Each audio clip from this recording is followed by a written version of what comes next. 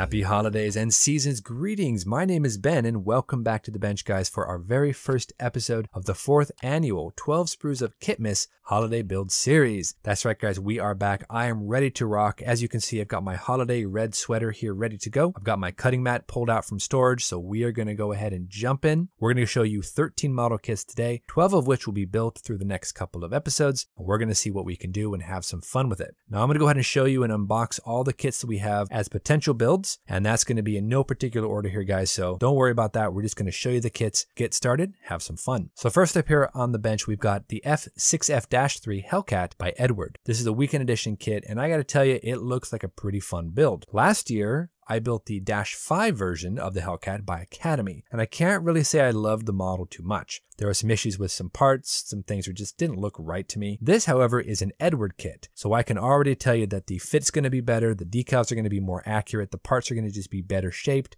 I'm really excited about this particular model. And also we've got some really cool paint schemes. We've got, of course, the tricolored scheme. This one here has some white tail and a white spine, so that's awesome. I can't wait to dive in and check this one out. Hopefully it gets into the rotation. Moving right along here, guys, we also have something super cool. This is the 172nd scale Airfix Boulton Paul Defiant Mark 1. Now, I've always wanted to build a Defiant. I just have never had an opportunity. This though looks like a pretty fun little model. The inside is very typical in terms of Airfix. We've got a single bag filled with sprue. We've got our instructions. We've got a single sheet of decals. We also have a single sheet of stenciling instructions, which is really cool. We have two different color schemes. We have an all black night fighter version. We also have the more typical daytime paint scheme of dark earth over dark green with that lovely sky undersurface color. So this looks to be a pretty fun little build. Can't wait to see what happens on the bench. Moving right along here, guys, we have another awesome model. We have the 172nd scale F4U Corsair by Academy. Now you're going to see a lot of Academy kits in this particular haul this year for 12 sprues. This one I've heard a little bit of mixed reviews on, but it looks cool. So let's go ahead and open it up and check the parts because you never know, especially with Academy. So opening it up, you are greeted with a very typical looking Academy boxing. We have a single poly bag with a couple of sprues, nothing too fancy there.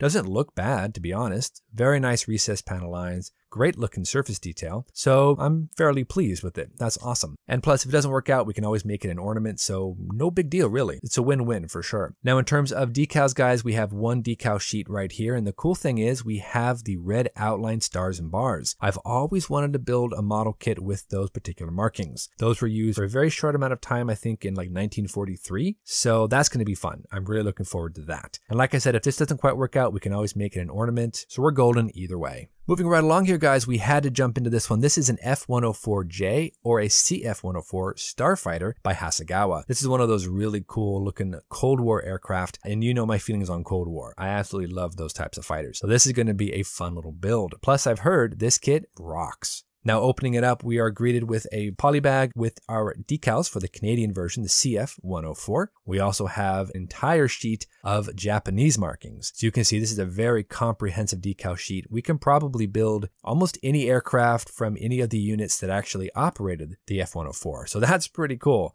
I dig it for sure. Also, the plastic looks phenomenal. We have a lot of really fine recessed panel lines. We have some great looking detail for the cockpit. Definitely lives up to the hype for sure. Hopefully it pops up on the rotation, guys, and we can get a chance to take a crack at this because it looks awesome. Plus, we got Canadian markings here, guys. I have never built a Canadian aircraft ever, so I have those at least for the spares. Carrying on here, guys, we have a World War I aircraft, one of the classics. We have a Fokker DR-1 triplane by Eduard in 172nd scale. This is a weekend edition kit, guys, so it's not going to be too crazy. It should be a pretty simple build. Let's go ahead and open it up here and check out the internals. Now inside, we are greeted with one poly bag and one sprue. That's it. It's a very simple model, guys. I love these World War I aircraft. They just look so cool and their paint jobs are phenomenal. So you can see here we've got our instructions and we have our decals. We have two different schemes that we can paint. One is a really cool red and white and blue scheme right here. That looks awesome. And then this one is really impressive. It's got the streaked olive drab Fokker primer that is put on a lot of these triplanes. That's got to be great, but it's going to be super hard to paint that. So more than likely, I'm usually pressed for time for 12 sprues. So I'm more than likely going to go with the red and white version version. But that's okay because that is also still an awesome looking color scheme. And either way, this is a win-win. I've heard that this is a little bit on the older side. These molds are starting to show their age, but I have a good feeling this is an Eduard kit, so we're gonna be able to pull it through for sure.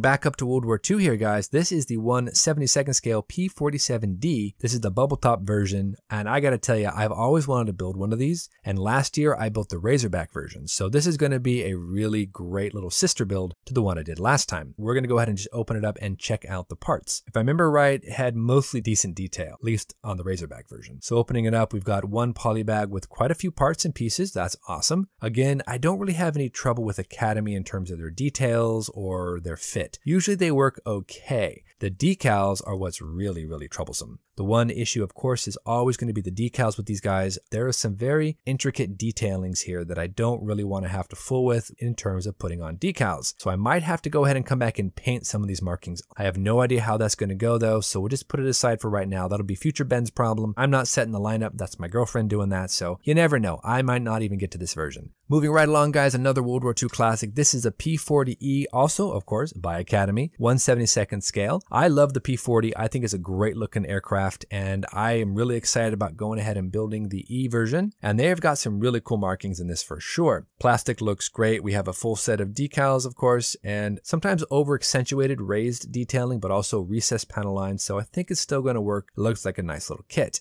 In terms of decals, we are given both the Southeast Asia RAF markings as well as the American markings, and it looks like you can build either one. We have a separate sheet here to show the Southeast Asia markings. That's cool, no problem with that, though I more than likely will be building the American version just because I like that leopard head on the very front of this one. That's the Aleutian Islands P40. That's the one I'm probably going to be working on. So nothing really more to say about this one, so we'll see what happens when we get into it. But this looks like a pretty nice little build. Hopefully doesn't disappoint. So yeah, let's move on.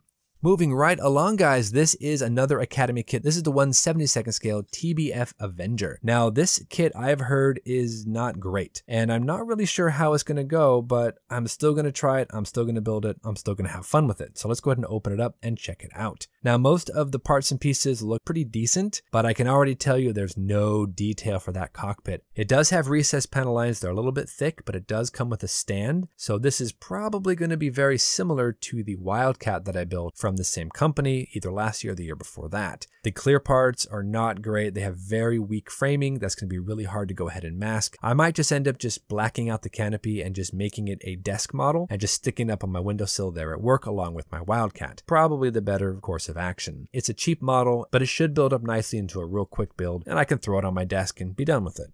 Now moving on, we have another questionable Academy kit. This is the MiG-27 Flogger. This is the ground attack version. And I'm not so sure about this one either. I've heard that it's kind of lacking on details. It's not necessarily very accurate. Some of the weapon loadouts aren't great either. So I don't know how it's going to go, but I've always loved the look of the Flogger. It's got that really unique, very Russian appearance. It's got the swing wing on it. It's pretty cool. So I'm going to go ahead and build it. And if it's not that great of a kit, I can make it into an ornament and throw it on my tree. It's going to look fine. I'm not too worried about it. Going back over to World War II, guys, this is a 172nd scale Messerschmitt Bf 109E4 by Airfix. Last year, I built the Airfix version of the early Mark Hurricane, and that was a fantastic build. So this, I'm going to go ahead and build up for the display case and drop it right next to that Hurricane. I'm excited about this one. Plastic looks great, finely recessed panel lines. Looks like it's got a fair amount of detail there for the cockpit. We are only given one scheme though. So if you don't like this scheme, you probably should look for an alternate marking. I'm excited to go ahead and see how it looks. Plus, it's got those really cool yellow wingtips and yellow rear tail.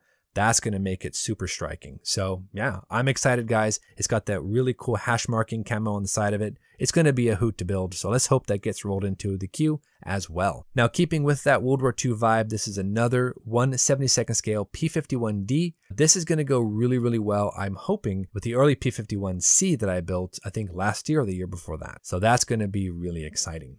The plastic doesn't look too bad. I don't know, I've never built this kit before, but it looks okay. We've got some nice detail in the cockpit there. Kind of overemphasized markings there for the instrument panel, but that's okay. We've got one sheet of decals, so we only have one marking scheme that we can do, and that I'm not so sure is going to be too easy to paint. This is a natural metal aircraft, so that's going to be a little bit more tricky. I have no idea how the fit's going to be. We're going to keep our fingers crossed. If we get it, we're going to do our best, see what we can pull off. Of course, we have another Academy kit coming at you. This is a 172nd scale A6M5C0. Now I like the late war zeros. They're just something about them. They just look cool. So this is going to be an interesting build. Now again, it's Academy and I have no idea how it's going to go together. There's no stand in here, so I'm assuming it's not one of those early kits that just absolutely suck in terms of fit. I'm hoping this is going to be a little bit better, but if it doesn't have good details or if it's just not right, I could just black out the canopy and I can make it an ornament because I've got a KF44 that's screaming for a wingman. So this actually might really, really work well for my tree. You never know. Detail looks good though. I don't have any problem with it. Finely recessed panel lines. It's got some detail in the cockpit. So I think we're already ahead of the game. We're going to see how it works out. If it shows up on the bench, we'll see what we can do.